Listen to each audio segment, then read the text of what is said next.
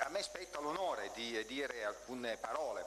Just a few words of introduction before giving the floor to James uh, Heckman.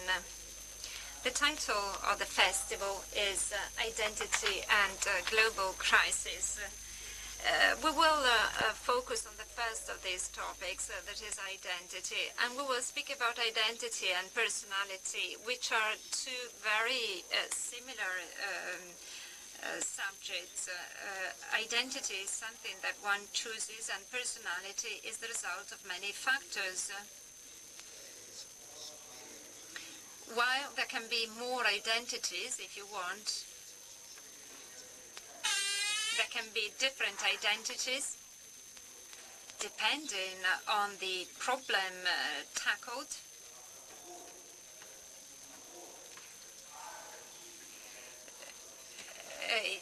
They can be father or son uh, in the same day. Personality is uh, unique. Of course, uh, there are cases of double personalities, uh, but normally there is just one. So the uh, notion of personality and uh, uh, identity mm, has uh, been uh, the topic uh, both of economists' research works and also psychology research works.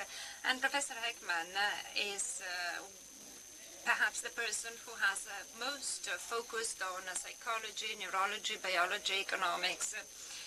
Um, so it's been a very uh, broad-based uh, um, synergy and uh, cooperation. And it is the uh, scientists uh, themselves who look forward uh, the contribution of Professor Heckman. And all this is due to the rigor, rigorous work of James uh, Heckman. This is something which has uh, always uh, characterized his academic life. James Heckman is anti-ideological. He was at the University of Chicago, where it is commonly known that there is uh, an approach uh, which is uh, against uh, public interventions, uh, but uh, on more than one occasion, Professor Heckman actually recognized that markets need regulation and that public interventions are necessary for some cases. Then he is a very critical man, also self-critical man. I remember a famous declaration. Uh, once he said, many things made by the economists uh, explain things that people already know. And the reason why he received uh, the Nobel Prize is above all for his contribution in the area of micro data analysis trying to understand uh, that uh, some of these data uh, actually hide uh, information, and so it's necessary to uh, remedy uh, these situations of errors, of biases, because there are samples which do not give us full information. Heckman's work has been a guidance for all of us he also focused uh, uh, on uh, uh data, uh, saying that uh, it is necessary to have also the theoretical work of economists, and this work is only statisticians' work. And this is very important because perhaps in the past, economic, economists looked at data only as pure statistics without asking the right questions to data. Today, we will uh, focus on the distinction between uh, cognitive and non-cognitive uh, uh abilities and the processes uh, which lead uh, to the formation of abilities or capabilities. Now, cognitive capabilities are those which are commonly tested. for example, when you have a PISA test or many school tests, school exams, you test the level of cognitive abilities or um, IQ tests, uh, for example. Those are tests uh, which look at cognitive abilities, uh, but then there are also non-cognitive capabilities. Uh, for example, perseverance, uh, um, conscientiousness uh, or self-esteem. Well, these non-cognitive abilities um, um, have been focused on by Professor Heckman and are major uh, capabilities uh, which affect uh, the behavior, the performance, and the success of the person. And they also uh, affect uh, the acquisition of cognitive capabilities. Well, but apart from his theories, uh, it is uh, his activity which uh, demonstrates that non-cognitive abilities are important. James Heckman is uh, an untirable person, a person who continues to have uh, uh, multiple interests, and he has an agenda of research which is really unlimited. Um, when you invite him, and I'm very happy that he accepted our invitation, you feel a bit guilty because you say, well, uh, we took uh, uh, time away from him, uh, which uh, he would have used uh, to go on with his research projects. And my guilt is double because I'm taking away time from his presentation, and so I give him the floor straight away.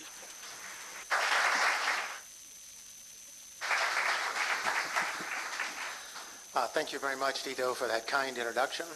I'm not sure uh, I, am you're going. I'm losing that much uh, productivity, but we'll see. I'm very happy to be here at this conference. Happy to be here with George Akerlof, and, and looking forward to his talk. And uh, the general theme of identity and identity in economics is, of course, something that George has done fundamental work on. And I view personality as being part of the aspect of understanding identity. And I want to give some aspects of identity and, and psychology and psychology of personality that is uh, uh, maybe uh, not so familiar. So let me give a little overview about the relationship between economics and psychology. At one point, uh, economics and psychology were closely united. This was like 150 years ago. And I think anybody who knows the history of economic thought will know that a major development in economics in the first half of the last century was the weaning of economics from psychology. This was viewed as high level of progress.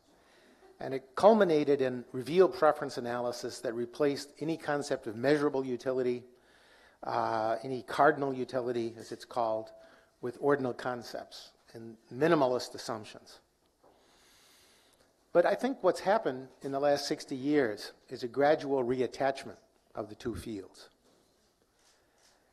And since the middle of the last century, economists, starting with von Neumann and Morgenstern, have returned to certain versions of cardinal utility, the measurable utility, to understand choices that people make in situations where there's risk and we know, and uh, there's a strong group here in Trento uh, in behavioral economics that's extensively drawn on the psychology of preferences, the work of Kahneman and Tversky, notably, and others, has introduced a variety of new preference specifications into economics to explain behavior. Uh, behavior that's found not only in the field, out in natural settings, but also in laboratory. And this is a major development and an important development for our understanding of phenomena.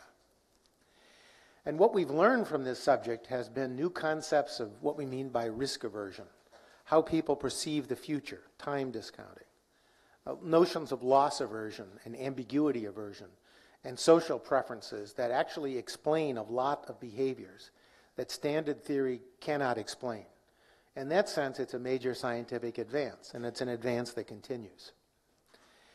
There's also another line of work by economists, and I mentioned a Dutch economist of some 30 years ago, Bernard van Praag, who, working with psychologists, have started to measure happiness. And of course, there's a large body of work uh, done by Kahneman, Alan Krueger, uh, and uh, Richard Layard, and others that quantify a version of uh, Bentham's uh, social utility. So Bentham is associated with the concept of the greatest good for the greatest number, but he had a real sense, I think, that a utilitarian approach could be captured by some quantitative utility, and that, that approach is still used.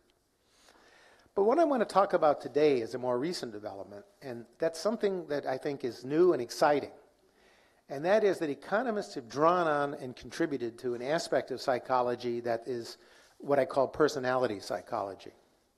I will, I will define that in, in, uh, in, in right now. But I think that personality, which has an intuitive concept, Uh, is one aspect of identity, and it fits well into the theme of this conference. So let me do a little background because I want to place how personality psychology entered economics. It's a little different than the way other components of psychology entered. And I think there's an, there's an interaction between the psychologists and the economists in personality psychology that's a little more unusual than the traditional relationship. So let's go back and review the basic economic model of choice and, and to see how I see uh, personality psychology contributing to this. So the standard model that many of you have probably seen or you've seen versions of or know or teach is a model that talks about preferences that people have over choices and then constraints that people face. So we always live in a world of constrained environments and we also have preferences. Some people prefer more, prefer more of this and less of that, and are willing to trade off. And so this is a central idea preferences, but then also constraints. The modern development in economics has broadened the concept of constraints to include things like information and expectations. So we've learned in a major development, and of course George uh, participated in this development uh, in, in revolutionizing economic theory, is systematically incorporating information and expectations into current information. And these also constitute constraints on the individual. Individuals who can't really fully know what goods they're buying, what world they're facing, these are important constraints. And I think that the motivation by economists, however, in personality psychology came more on the constraint side than on the, on the preference side. And that makes it a little different from behavioral psychology. So let me give you a brief history. So here I'm giving you a, an Econ 101 lesson, and I hope I'm not boring you or insulting you when I do so. But this is a standard diagram that all of us teach, and it's basically a diagram that says that individuals are constrained by resources. There are two goods, good X1, good X2, and we can only live within the area beneath that constraint. Uh, and we, we can't live outside our means. Uh, and that is a very fundamental notion in economics. Now, we add to that notion of constraint preferences. And so preferences determine where we settle on the budget set.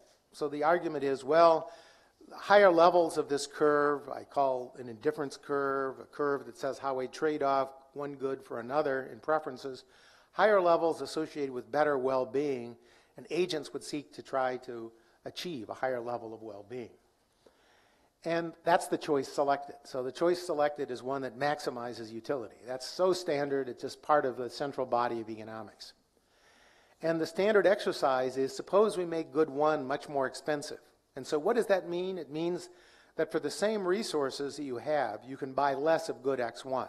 So that's why the budget sets shrunk towards the origin. It means you now have fewer possibilities for buying good one. You can spend the same amount on good two, but not the same amount on good one. Then we say, okay, preferences in a normal fashion. We'll look at this and we'll see, yes, what do we select? We select this point here in the new regime. And the fundamental uh, proposition is as the price of good one goes up, we buy more of, um, uh, price of good one, we buy more. We substitute towards good two.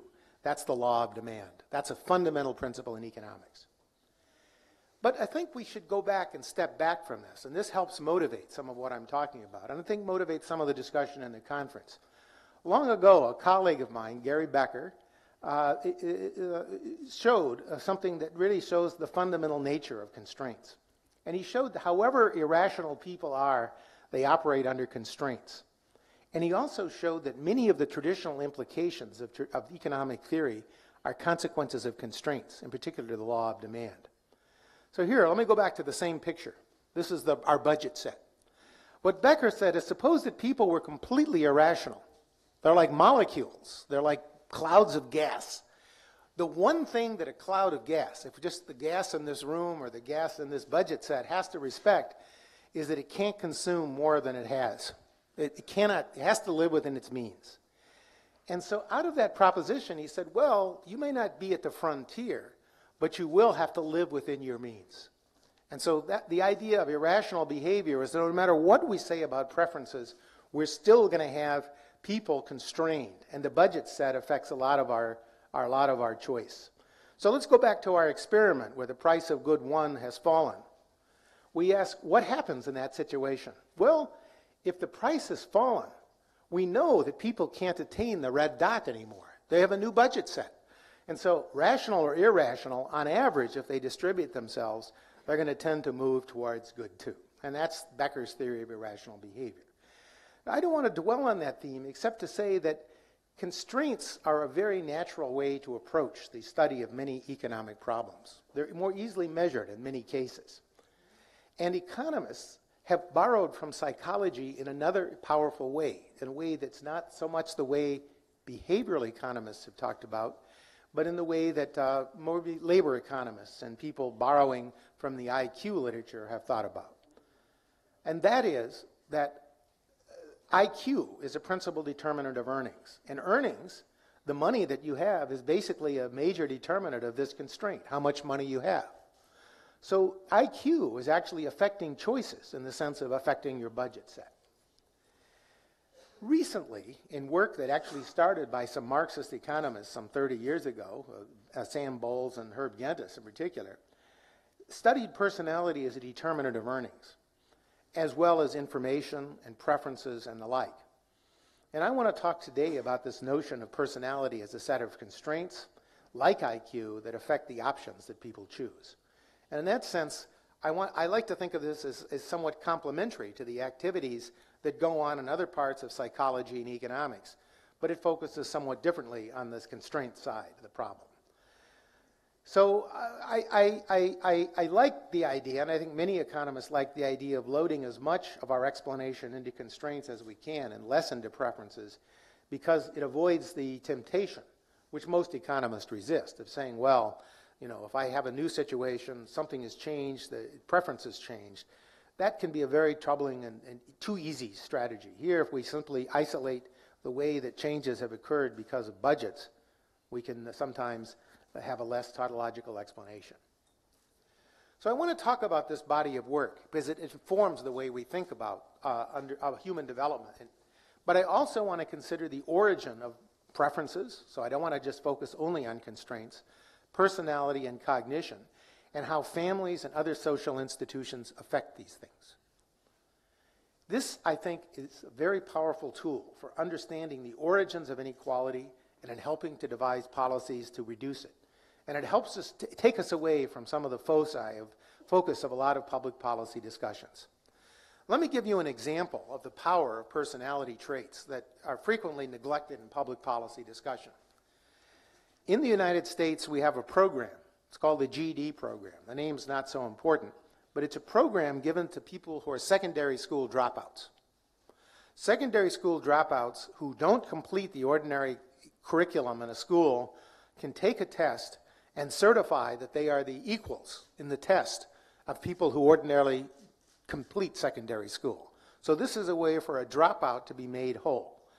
And in the United States, this program now accounts for close to 14% of all secondary school degrees that are presented. And it's growing, and so it's a huge program. It's been growing until recently. What this is, is a test of cognitive abilities. It's not much different from the PISA scores. And the scores, the IQ tests, are a little different, but the achievement tests, sometimes called Iowa tests or PISA scores, are very similar to what the GED says. Let me show you that this test is actually very successful in the way that typical public policy measures things. Here's a study from work that I did with Yona Rubinstein and Jingjing Hsse some seven or eight years ago now, where what we did is we looked at the density of age-adjusted armed forces qualifying. Think of these as PISA scores. These are achievement test scores that are used daily to decide whether schools are succeeding or failing, who is succeeding, who is failing. So we have a distribution on the left for white males and the, and the right for white females. The male-female difference isn't the issue here. Where, these are ordinary, these are the scores of ordinary secondary school graduates. Where do the GEDs fit in this distribution? These are the people who couldn't finish school, but nonetheless took the test. Where do they fit? Almost perfectly. A little bit below, but almost perfectly. They have the same test scores as people who are uh, ordinary high school, secondary school graduates. And that looks very good. And by the standards that we currently use to measure and decide policy, what this is, is that these people have been made whole. We've actually certified a group of people who are just as good as ordinary secondary school graduates. Yet, actually, they earn at the rate of dropouts. So even though they actually have the same test scores, they're actually earning at the rate of dropouts. Something is missing in our current thinking. And I argue that they're as smart as ordinary high school graduates, but they lack non cognitive skills. And that's a theme that I want to develop. And in fact, you can look at these GEDs, and in fact, these are the wise guys who can't finish anything. I'm writing a, a small book on this, actually. It's fascinating be, simply because in so many areas of life, they drop out of marriage, they drop out of the army, uh, they drop out of almost anything they start. They start jobs, but they drop out much more rapidly. So there's a trait missing that the test score doesn't capture. So what I want to argue is that these is just one of many examples that I could give, and I'll talk a little bit about these examples. But what I want to argue is that incorporating personality enriches economics. That a core, low dimensional set of capabilities explains a lot of socioeconomic outcomes. And cognitive and non cognitive abilities can be measured, they can both be measured. Sometimes non cognitive abilities are called soft skills. The argument is we can't measure them well. But that's simply false. We have developed measurement systems and we have a lot of indicators that give us as hard a piece of evidence on their causal effects as for non cognitive skills. And so I want to show you a little bit of that evidence today. And the other part that's very important is not only do they determine many outcomes, so when we think about what determines success and failure in life, incentives matter for sure. Cognitive and non cognitive capabilities, personality as well as smarts, both matter. But we also know that their origins are not strictly genetic. It's not a question of who you're born to, it's not a question of your father's genes or your mother's genes. It's really a question also of social environments. And that's the exciting part of this work. And what we've also learned is that there are sensitive periods for the development of these skills. And at many of the gaps between the rich and the poor, the haves and the haves nots, start at very early ages, long before people enter school. But it's not purely genetic. And we've also found that these sensitive periods for development are earlier in life for cognitive capabilities and later for non cognitive capabilities. And that's important too for the way we think about social policy, exploiting this new information. So, what I would argue too is that this has substantial interest for the fact that we should treat people not as identical. I think that's a bias that many economists have, a traditional representative agent model. And that what we've learned from a large different collection of bodies of work in psychology and economics is the heterogeneity that's manifest. And we need to think more broadly. So let me just go very briefly over some of these abilities and show you what the evidence is. So we need to understand the multiplicity and power of capabilities. So the one thing we've learned, and this is something that has come from a large body of empirical research with long, large longitudinal data sets with very detailed information, that ability matters and abilities are multiple in nature. Now, what do I mean by uh, cognitive abilities? Well, psychologists will frequently distinguish two different ideas of cognition. One is the notion of uh, crystallized intelligence, which is kind of knowledge, how well we can command a body of recognition, a, a set of techniques that we've learned, a set of reactions to sort of common problems. And then fluid intelligence, the ability to solve a problem de novo. And we know that there are different age profiles for their development. And in fact, uh, unfortunately, for most of the people in the room, fluid intelligence peaks out around 19, 20, and then it's downhill. Uh, and uh, uh, crystallized intelligence allegedly keeps growing. So there's wisdom with age. At least I hope so. So cognitive abilities we know and they've been studied. And there's a large body of work. We've had IQ tests and achievement tests around for more than 100 years. Less well developed and still somewhat of a hodgepodge is this concept of non cognitive capabilities. They involve traits that are sometimes thought of like perseverance, our avoidance of risk, our desire for leisure, our motivation to achieve certain things, our self esteem, how hard we work on problems, what is our what is our the relationship that we have for the future? How much do we discount the future, and what way do we discount the future? And self-control, aspects of self-control, which behavioral economists have looked at uh, quite uh, quite extensively, and, and the notion of forward-looking behavior. The one thing that I would urge that we recognize, and this is a very important body of work in, in personality psychology, is there's a vi- view out there that some people have argued, some economists, that these traits, especially the psychological, the personality traits, are very situational specific, that they, people respond specifically to the situation that they're in. And what I want to argue is they aren't solely situational specific. Situations affect the manifestation of these incentives, but they do not shape entirely what these traits are. These traits evolve over time, they're affected by the environment, but over time, there's persistence in levels of these traits, especially when we standardize measurement situations. And the key thing is that these traits are causally affected by family and social environments. And so, what we've learned is that both types of capabilities have direct causal effects on a wide range of behavior. So, there's nothing inimical to economic theory. In fact, economic theory has always said that a low dimensional set of traits, preference traits, may be enriched by the new personality and psychology traits that have been introduced recently, can explain a wider range of behavior. And I just point to these wages, schooling, crime. Let me just show you some examples. This is an example taken from some work in, in psychology. I don't know if people can see this uh, figure. I know you have a handout, so maybe you can look at that. But this shows uh, for different traits leadership, job performance, longevity, college grad- grades, and years of education the importance, just in a simple sense of correlation, between IQ, which is what we mostly focus on, and success. So, for example, if you look at leadership, you'll see that IQ has actually got a lower correlation with success and leadership than conscientiousness, another psychological trait. And the bunch of these psychological traits is much more predictive. We get uh, that IQ is somewhat better in job performance, but not so much different uh, than conscientiousness.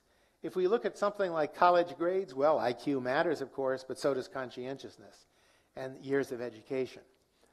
And just to show some examples from some work of, by economists, if we ask the question, well, what's the probability of somebody ever having landed in jail at age 30 by measurements of these traits taken at much earlier times. If we go down the distribution, there's been very commonly uh, noticed by many psychologists and economists that less capable people, people with lower cognitive skills, are much more likely to commit crime. And you can see that when you go from the bottom of the distribution, which is the left side of the figure, to the right side of the distribution, you'll see the probability of being in jail goes down. Cognitive skills are important. Non cognitive skills are also important. And these are causal effects. I can't get into the details of that, but this is. And so what we find is that both cognitive and non-cognitive skills are important. I want to come back to this figure. Look at teenage pregnancy, yet another problem, which is usually associated with disadvantage for the children, the next generation, and for the mother. Cognitive skill, huge difference. 10% chance of being single with a child and a teenage child pregnancy, uh, very high if you have low cognitive ability, very low with high cognitive ability. If you look at non-cognitive ability, you find it actually almost the same trade-off. So they're equally predictive. And I could produce hundreds of these graphs. In fact, I did have hundreds, and Tito edited them out, so I'll, I'll stop. But I will say that something that economists worry a lot about, wages. Again, if we look at the gradient, the response of what happens as we move from the bottom to the top, increasing wages, we see equally powerful effects of cognitive and non-cognitive skill in the sense of moving from the bottom to the top. So what do we know? This is a very exciting uh, findings. We have a lot of predictive evidence, and this shows that these traits matter. We also know that there are two parallel systems of preference parameters that have been developed in psychology and economics. And the research in this area is very active, putting these together. So right now, I think it's fair to say that economic preference parameters like time preference, risk aversion, inequality aversion, altruism, uh, reciprocity, these traits we know are important. They do predict. There's no question about it. But they can also be related to these psychological traits. And so what you're seeing is not only a theoretical exercise of putting two bodies of work together, but you're uniting in one place a tremendous body of findings from two literatures which will reinforce each other. And we can write, but we still are in the process of synthesizing these literatures. Now, a third finding from this literature, and this is very important, this has a huge implication, is that when we measure these traits in stable measurement systems over the age of people, and we follow people over time, I'll just give you one example, that gaps and differences between people in these traits open up very early in the lifetime. So let me give you an example. This is a program that I'm studying with a developmental psychologist and, and several others, uh, including Greg Duncan, uh, an economist at uh, Irvine. And what we're finding is the following test scores play a very powerful role in explaining who goes to college and who doesn't. We know that. And in the US, when we looked at this, we find that once you control for the test score, the family income or the tuition at a college plays almost no role in explaining who goes to college, who doesn't. The test score is extraordinarily important. But gaps in these test scores open up long before schooling begins. So let me show you this. This shows you the test score gap starting at 3, which is about as early as time as we can measure it, up to age 18. And this is now classified by the measure of advantage, in this case, the mother's education. And what you find, these people were randomized into these, uh, there's a lot of detail here, but the important thing is the gaps between people at age 18, which are on the right side of this graph, are about the same as the gaps that are there at 3 and certainly by age 5. So, what this means then is that we can't, in any fundamental way, account and say that schooling or things that are going on in schools are explaining the gap. What we found is that schooling after the first few years plays only a very minor role in creating or reducing the gaps. And we get a similar story for non cognitive skills. So we, I think it's very important. It reorients. These, th- these factors are important, and gaps between the haves and the have nots are opening up very early in the lives of children, long before they enter school. Now, this kind of information, that gaps open up, and when you control for these factors in a statistical sense, they can eliminate them, leaves open a very basic question. It doesn't rule out a genetic explanation. You could say, okay, it is the manifestation of genes, and some people would say that. Some people would say, no, no, it has to do with family environments or family investments more generally. And what I want to show you is some brief evidence from intervention studies that suggest an important role for investments in family environments in determining these capabilities. So it suggests, yes, genes play a role. What we've also learned is there's a powerful gene environment interaction, and we've also learned that we can supplement families and reduce some of these gaps, in some cases substantially so. And let me just make an observation that with the data that we've uncovered, we can study how families differ. And families vary a great deal in the amount of investments they make in children. Disadvantaged families spend substantially less time with their children, give the child substantially less advantage. Uh, in the last 20 years, as knowledge of child development has expanded, more educated women, while they're working more, have actually been spending more time in child development, precisely because they recognize the value. Less educated women also working more, although the growth is a little less, but also not spending any time more. So a gap is opening up in the resources available to young children.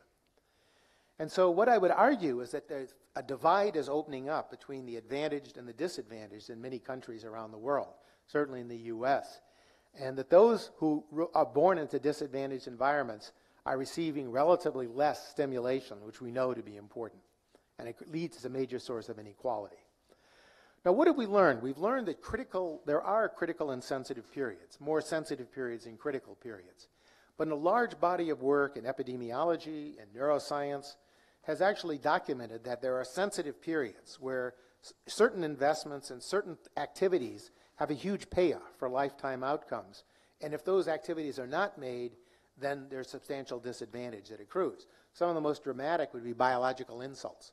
If a child is born with substantial vitamin A deficiency in the environment, that person may have blindness permanently without any known remedy. A small drop of vitamin A can eliminate that. Less dramatically, their language and other, other traits. So we know that this is uh, that the, there are critical and sensitive periods. But we also know, and this is the positive part of all this, that enriching early environments can compensate for the risks from disadvantaged environments. But what have we learned? And this is another key lesson. And this is why it's so important. If I, if I leave you with one lesson, I hope I leave you with several, but I want to leave you with one. and that is the power of these non cognitive social emotional traits, which are sometimes called soft traits. A main channel in which many interventions operate is through enhanced non cognitive capabilities. Let me just give you one example. The United States has been very active in promoting uh, early childhood development. There's a famous experiment run some more 40 years ago, the Perry Preschool Program. These were kids who, all of whom were disadvantaged, all of them African Americans. All of them were chosen to have subnormal IQs. And they were given initially separated into two groups. Some of them were randomly assigned enriched parenting environments, others were assigned just the ordinary environments. Enriched parenting simply meant the parents got a little, stimu- a little help on how to parent. The children were enrolled in programs, given opportunities they normally didn't get. These p- children were randomized into two groups, and they've been followed ever since. They're close to 50 years of age. In fact, I'm participating in a study to actually look at these people at age 50. They're, they're turning 50 as we, as we speak. So the people are followed 40 years. And the interesting thing that came out of this program, and true of many of these programs, is that there was no effect on IQ. None. The way that we normally value social policy said this program was a failure. There's another program in the United States called Head Start. And that program also was viewed as a failure. It was viewed as a failure. Why? Because it didn't boost the IQ. Yet, what happened is when we look at this program, I recently recomputed the rate of return, and what we find is a strong, statistically significant rate of return of about 10% per annum for both boys and girls. A huge rate of return. Even if you take a normal equity market, if you look at the uh, stock market returns, it's about 5.8%, uh, up until uh, recently anyway. So what we've learned is that in fact, there is a way to improve, but it's through social emotional skills, far more than through IQ. And that's something that current policy doesn't really embody. So the whole mentality of the PISA scores, the whole mentality of the IQ and the wealth of nations, I think ignores that. So let me talk about these traits. Since many people think that these traits are stable traits, let me show you a few pieces of evidence on this. These traits are not set in stone. They can be affected by investment. Perry is just one of many experimental studies with long-term follow-up. And these traits also are not just matter of determined solely by the situation in which you find yourself. This is the graph that I was telling you about, that uh, if you look in the graph that's sloping up, uh, crystallized intelligence is increasing, fluid intelligence is decreasing over your lifetime, and, uh, uh but IQ, which is a quantified, uh, some composite of the two, is roughly stable. You can also look at how conscientiousness changes over the lifetime. And not surprisingly, people become somewhat more conscientious as they get older. Many of the other traits do evolve over time, and these are longitudinal studies on these traits. So, what I would argue then is that what we have in, in current thinking today is that later, that, that what, what we've come to understand is that cognitive and non cognitive traits matter. They're very predictive of a large, a large variety of behaviors. But we undervalue the role of personality not only in producing these behaviors and in our capacity to influence and in shape to motivate people and to create uh, ambition and to create a sense of larger social engagement. What I would also argue that if we think about other kinds of public policy, like, for example, uh, active labor market programs, which aren't so prominent here in Italy but are in OECD Europe, uh, if we think of classroom size reductions, and a lot of the traditional policies that we think about in terms of education and boosting the workforce skills what we find is that these programs are much less effective in terms of rate of return. I'll give you an example. Many people look at reduced classroom size. There's a famous paper by Alan Krueger and uh, David Card and Alan Krueger that shows the effects of reducing classroom size on raising adult earnings. And it certainly, the major channel is through improving schooling. But what they didn't do, and what was done later, was actually do a cost benefit analysis of their study. You say, okay, I'm going to reduce classroom size. I am going to raise earnings, but it's going to cost money to hire teachers, and it may even bid up uh, uh, the cost of teacher salaries. That's a larger effect. When you do that, you actually find that the rate of return to reducing classroom size is either zero or negative, very small. And when you go through a whole range of programs that are traditional in productivity enhancing programs like adult literacy programs, public job training programs, tuition reduction policy, rates of return on these are really quite low. So a general pattern has emerged that when we start trying to solve problems of social inequality, especially in the adolescent years, especially targeting cognitive skills, the returns on these programs are very low, uh, and uh, they tend to be higher for both cognitive and non cognitive individuals with higher levels of cognitive and non cognitive traits. And the sad fact is that there are lower returns for the less able people, which is something people don't like to admit. However, I would say as a caveat, motivational programs that operate on social skills have some real effects in adolescent years. So, a major finding from this literature is that there are substantial equity efficiency trade offs for the less able when we start remediating later in life. So, even when we think about going to the schools or into the secondary schools, what we do is we are actually starting way too late. But we also know that there is no equity efficiency trade off, at least in the sense of saying targeting the disadvantaged, the less able, disadvantaged, those who are coming from disadvantaged situations early in life leads to high level of economic efficiency and helps reduce social inequality. I don't know if I should get into this, but I will. I'll try. So let me try to formalize this. I'm an economist, so I should put a few equations down, right? There's a there's a there's an occupational hazard, uh, but um, I, I, will try to avoid uh, too many equations. But let me just think about this vector theta. The theta here is a, standing for a bundle of capabilities. And I really mean capabilities in the sense of Amartya Sen and, and Martha Nussbaum. I think of these as, as things that enhance the freedom of individuals, that enhance the potential of people. And you can add health, although that's another trait that I'm really not talking much about today cognitive, non cognitive trait. And when we think of outcomes, we have to understand that the outcomes, which I call YKT, are produced not only by these capabilities, but by the effort that people exert in the situation to manifest the trait. So, what we have to understand, and this is very important in sort of organizing the psychological evidence, interpreting the evidence, is that its situations have to be standardized when we make comparisons. If we're going to look at traits, if we're going to look at the manifestation of traits, we literally have to understand that we have to standardize for what the rewards are to manifest the trait. So a person who is punished heavily for being very aggressive may be very meek in one situation, but the situation may call in other cases for very aggressive behavior. So we know that. So the, a lot of the discussion in personality psychology recently has been precisely to standardize environments so we understand that these traits actually are more stable, but we have to adjust for the environments. But the main thing that I want to take out of this is that, and this is very important for social policy, is there are many ways to achieve performance on a given task. Cognitive and personality traits both determine earnings. I showed you that a minute ago. And you can compensate for one shortfall by having greater strength than the other. And we also know from basic rule of comparative advantage, a concept borrowed from trade theory but applied to labor economics, that different tasks require different capabilities and that people pursue their comparative advantage by sorting into different tasks. And this equation essentially suggests that. Equation one is a model which is allowing for the fact that we can compensate in different dimensions, that we can incentivize people to perform, and that these different tasks, these different capabilities, are all producing excellence and performance in different dimensions.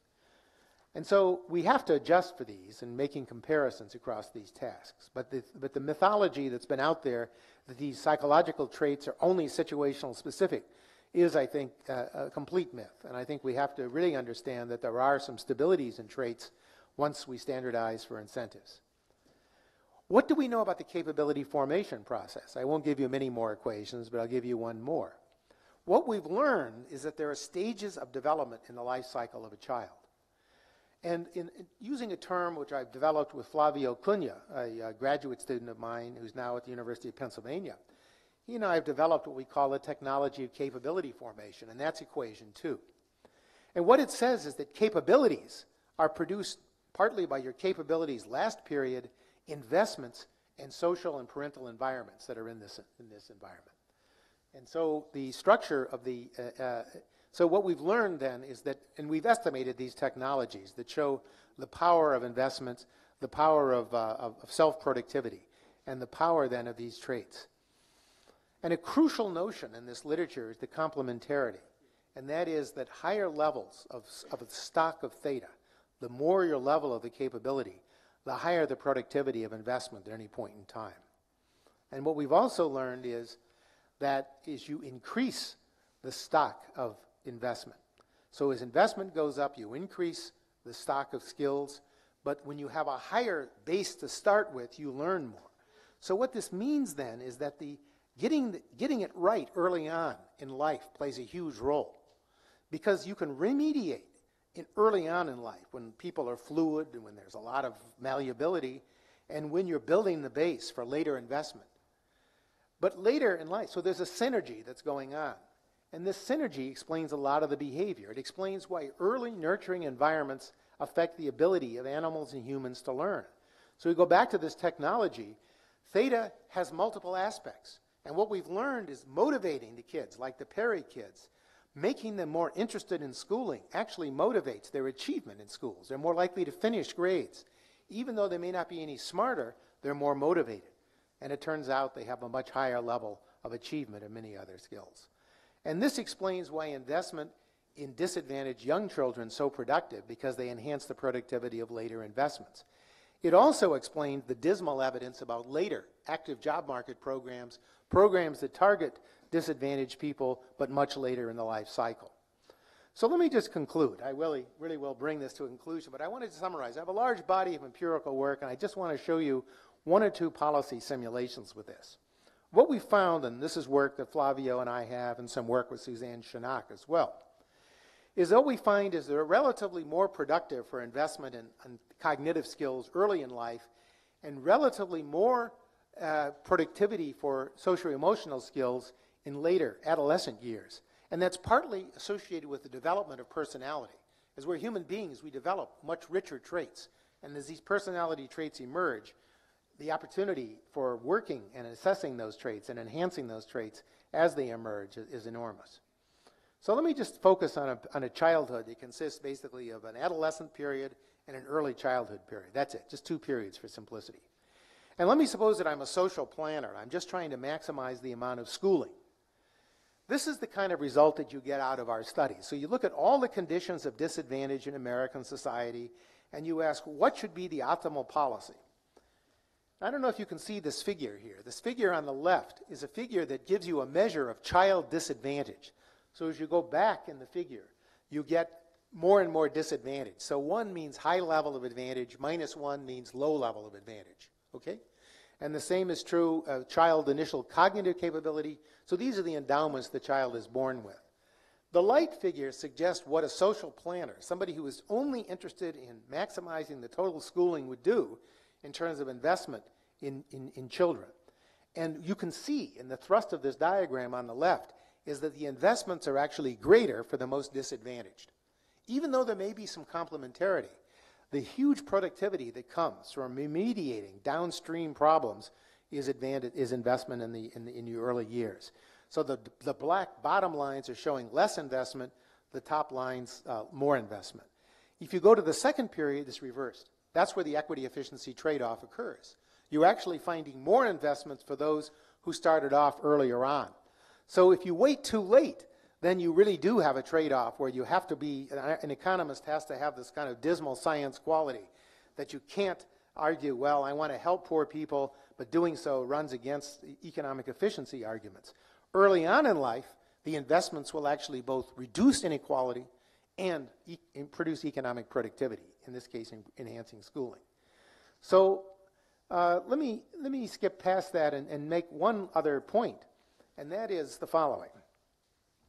What we've also learned, and this is something that's very important, depending on the outcome that we study, cognitive and non-cognitive traits are differentially affected. That was my outcome equation, remember? I had cognitive traits and I had non-cognitive traits.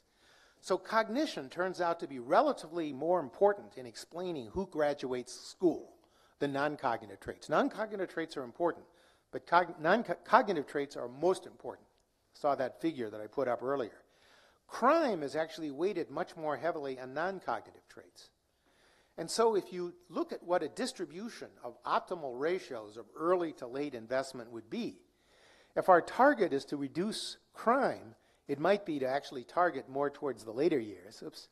If our, if our, if our goal is to reduce, is to promote education, it might be to reduce relatively more in the early years. And the reason why there's a distribution here is that an optimal policy would recognize the different conditions of advantage and disadvantage that people have, the different conditions of parental background, the different initial endowments. And I'm sweeping all that down in these figures.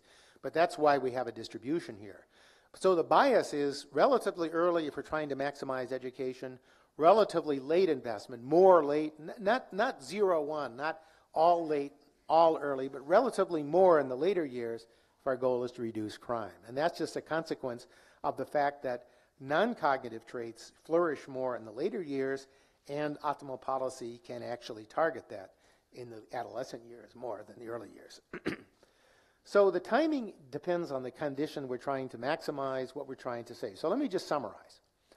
First of all, what I've tried to do, and maybe tried to do too much, but I nonetheless I've done it, so I'll, I'll, I'll, I'll conclude that cognitive and non-cognitive capabilities produce a variety of behaviors. And I really want to stress that these personality factors, which are considered soft and fuzzy, are not.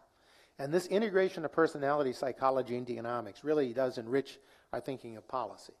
There's an emerging field of psychological measurements of personality and cognition, which is linking together traditional economic preference parameters with the psychological preference parameters. And I believe, just as we've enriched the normal set of behavioral parameters in, in standard economics, like the social preference parameters, we're going to have a deeper understanding of self control, a deeper understanding of aspects of time preference by drawing on the psychological literature.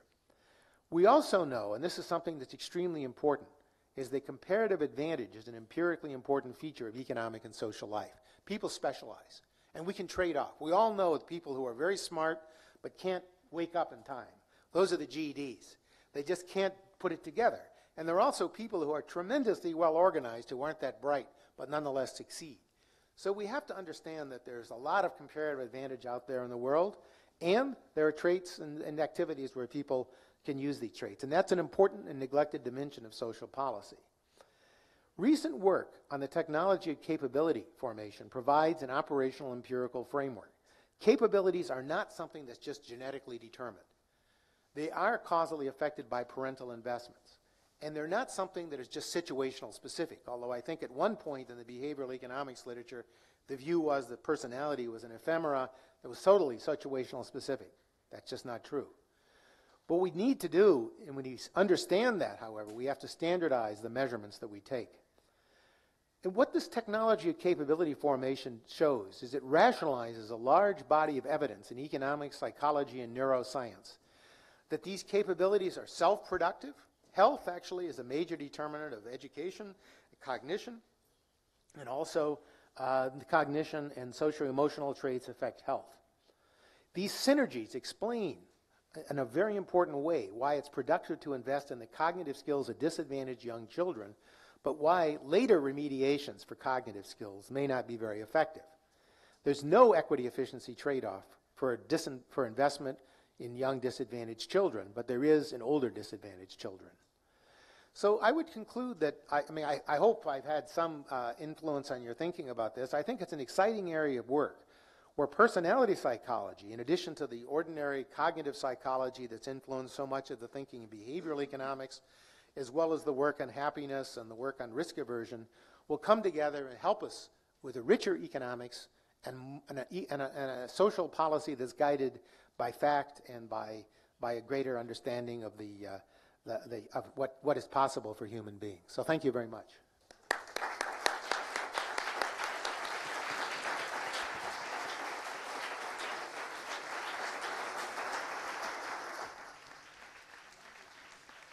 It is indeed true that uh, while uh, Jim was preparing his slide, I, I, suggested that he should cut down a bit because I was worried about the time.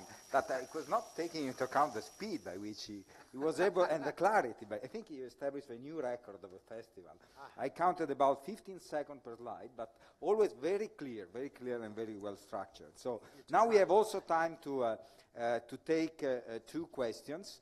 Um, I move to Italian, just to, uh, uh, credo che tutti voi abbiate afferrato la, la, davvero la grandissima rilevanza pratica delle cose che ci ha spiegato oggi. pensate per think of the uh, effects of efficiency and equity, uh, think of mm, cognitive capabilities, uh, think of the role uh, of families. Uh, and the bad news uh, is that disadvantaged families transmit less of these capabilities. But then there is also good news, for example, the Perry preschool program, and this is an encouraging message in order to reduce the gap which is created very early in life. And then a second major thing, uh, um, an important application of what has been said uh, is the following. Much is said about meritocracy. Well, here we have a fundamental dimension that is non-cognitive abilities, which are often ignored by tests and by uh, measurements. This is just to give you a couple of uh, uh, points well, we put the slides on the uh, website of the uh, festival. If you want, you can download them because the, uh, they are very, very interesting. There are many implications which uh, perhaps have been lost because of the speed. Uh, we have a couple of questions only because we don't have much time. The microphone.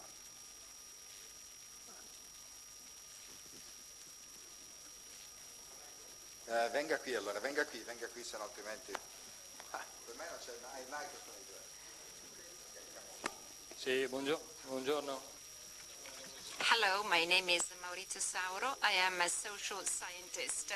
I'd like to know what are the criteria for selecting children uh, where to intervene, because the uh, criterion, uh, the selection is fundamental. Otherwise, you uh, risk uh, uh, choosing or selecting a child who is not ready for that specific investment.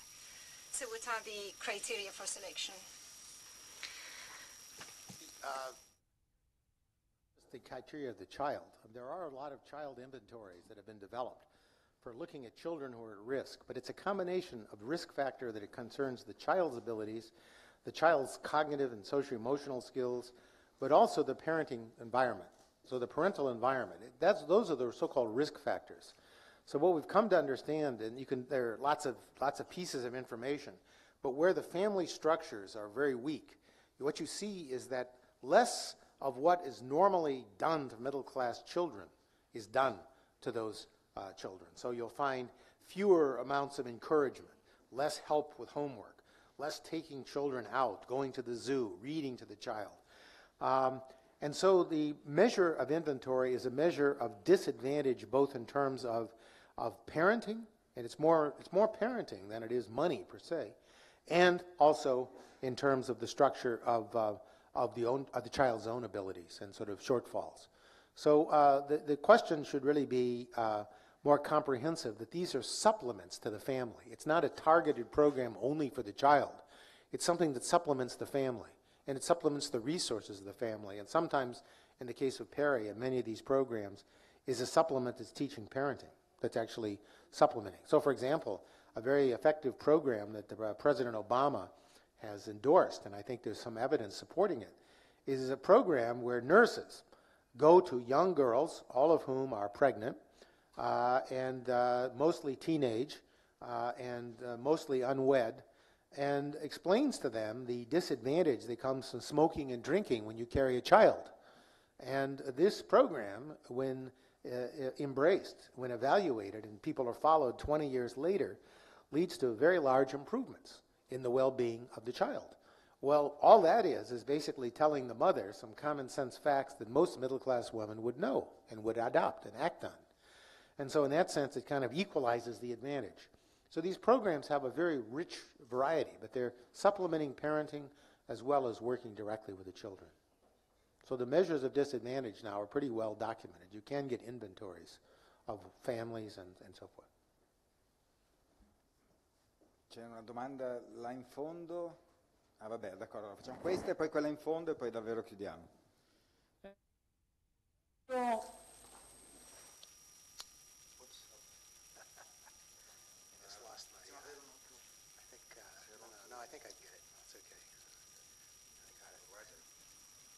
Can you hear me? Can you hear me? Okay. Can you hear me? Okay.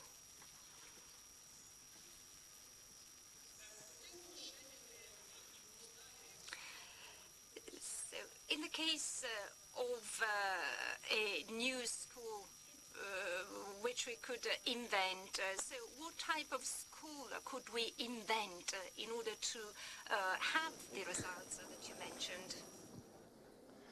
Well, I don't think it's a school so much as kind of an approach to way childs develop, the child would develop. I think it represents a, a, a way, you can think of it more as a family supplement. I wouldn't view it as a school. Remember, some of these gaps are showing up long before schools begin. So these are supplements to families, and these are really representing maybe, you can think of it as partly a school, you can think of it partly as a daycare center. But all you're doing, and you have to work with the family. I mean, the one thing we've learned in, in the last 100 years, 150 years of failed experiments, is that the family is the paramount factor in the life of the child. That's, that's an obvious point. But when we remove the parent, and there have been times in Australia, in Canada, in the United States, where indigenous children are removed from their parents that have had catastrophic consequences. So we have to supplement the life of the child.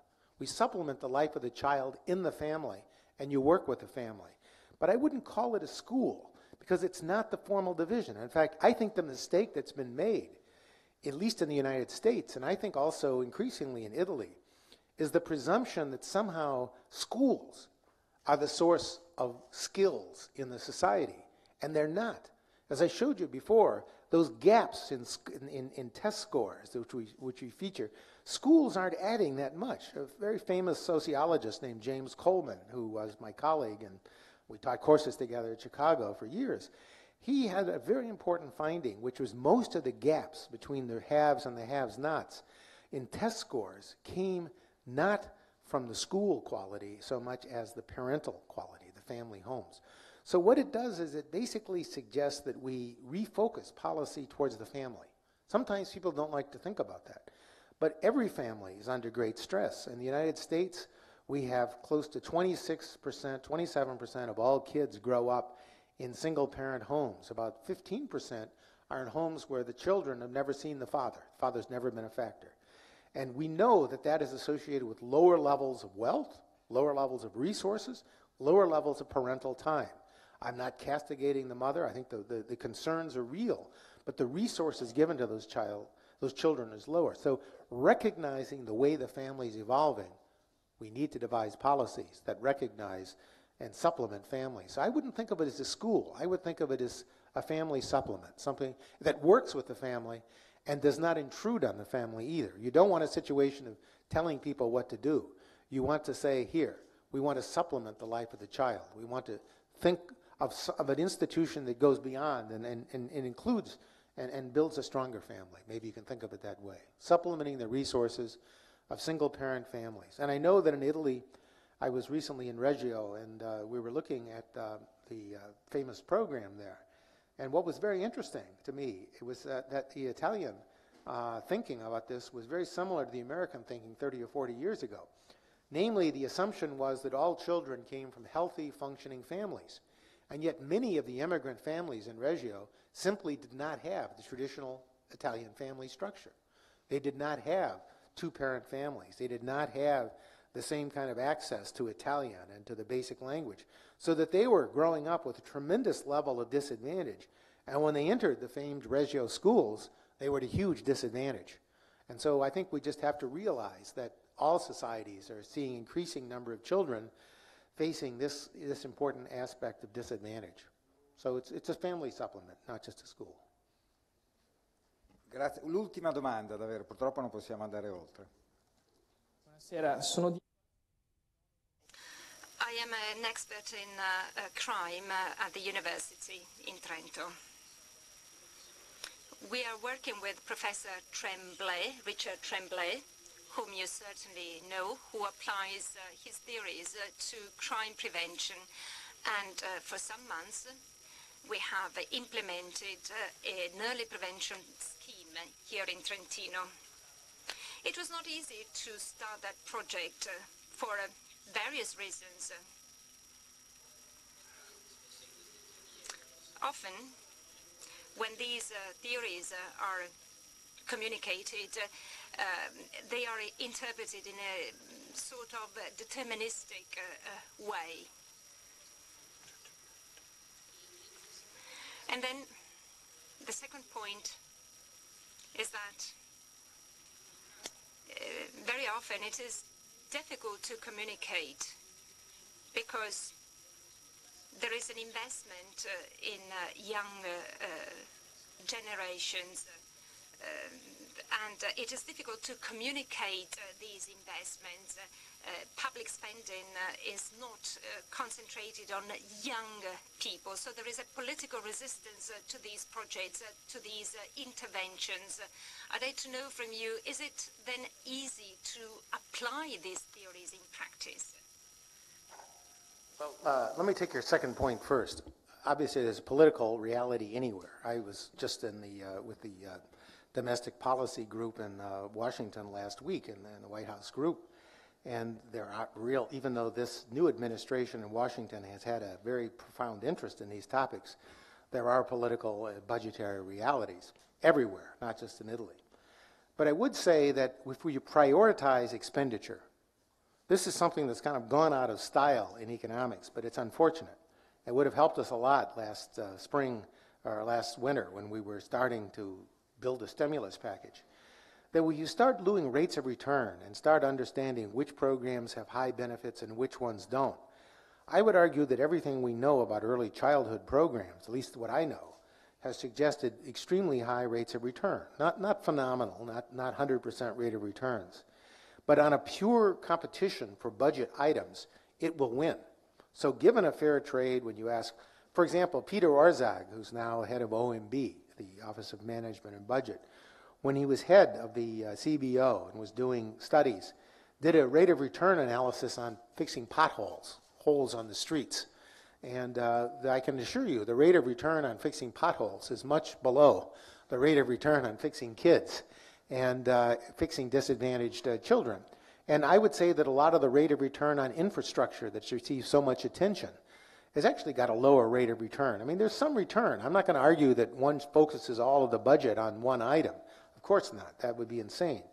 But I do think that this does compete if you actually give it a fair chance to understand sort of how effective this is relative to a, to a lot of the other interventions. Even the standard interventions in education programs like reducing tuition, or, as I said, that to me a, a staggering finding is that the minority majority gap in college going is reversed. Black children are more likely to go to college than white children in the U.S. once you control for those ability factors at 16 and 17. Tuition plays a very minor role in explaining the difference. It's the ability to actually benefit from the college that's playing a big role. And when we understand that those ability factors can be supplemented, then a powerful lever is available for social policy. So I think it does challenge our thinking because we have to go outside the standard channels and, and, and, and, and ask that we think more comprehensively about how skills are produced. In Italy and in the United States and in most countries, we think of different aspects of the life cycle as different cabinets, different functions. So we don't realize that if you want to reduce crime and you want to reduce uh, illness, that you start back with a certain set of social, emotional, and cognitive skills relatively early in life that essentially avoid a lot of the burden that is created if these skills aren't fostered early on. So you need to think much more creatively. So that, that's, that would be the pitch, but I realize that requires a lot of, a lot of further education of the public. Now, speaking about Tremblay, of course, Richard and I are together. We collaborate on projects I have a very high regard. I knew that he was working in Italy. I did not know until now that he was working here, so that's great. He's a first rate person. I would say that you're perfectly correct that there is no determinism here. What you're doing is you're shaping people's abilities to respond dynamically. So it's not like I can suddenly enroll kids and I get a homogeneous response or that there would be one uniform reaction. But what we can do is we now know ways to encourage children to enlarge their lives. And in that way, we can reduce a whole series of problems that are previously thought to be unrelated. So, although I, I think Richard himself can be a little too deterministic at times in his work with Daniel Nagin, but nonetheless, I do think that this is one of many forces, but a powerful one that has not been addressed, namely supplementing the early lives of children and uh, seeing what the consequences would be. although I didn't mention it, uh, reduced crime is a huge activity. I showed you one figure, but in the cost benefit studies of early childhood programs, one of the major determinants has been the, one of the major benefits has been the lower rate of return on uh, the lower lower crime rate among people who participate. Why? Because they're socially engaged. They have stronger measures of self-control. They're more motivated to participate in the larger society. And so I think that we see a broader notion of social policy if we, if we understand that, that we are talking about creating people. We are talking about creating people and giving them the pow- empowerment to choose much richer lifestyles so they can see possibilities for themselves they didn't see before. They can break out of their identities that social class or other restrictions may have placed on them, and so they can actually enlarge their capability sets. So, in that sense, I honestly believe that uh, it is a different approach than what we've followed, and that once you follow through the logic, in the United States, it's now becoming very much accepted. Five years ago, it wasn't, uh, to the extent it is now. But as the evidence has piled up, and there's always room for overstatement, there's always a lot of hyperbole. But what we've observed is that increasingly, groups from across the political spectrum are supporting these ideas of early investments. Why? Because they are essentially creating the capabilities that people of all uh, backgrounds, I think, value. And I think this is a huge uh, a change, and I think it just requires a little bit of education. And uh, I'm sure that uh, plenty of people are here to, to, to provide that education. And the message was very clear. Grazie mille, davvero.